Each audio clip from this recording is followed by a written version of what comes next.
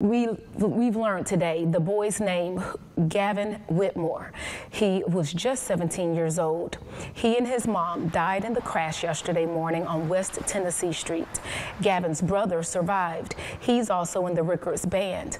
Tallahassee police say a pickup truck lost control, crossed the median, and hit the family's car. Police say they're still investigating the crash. They have not filed charges as of now. Rickards High School shared this message just in the last hour. It says they're deeply saddened and they're praying for Witmer's family and friends.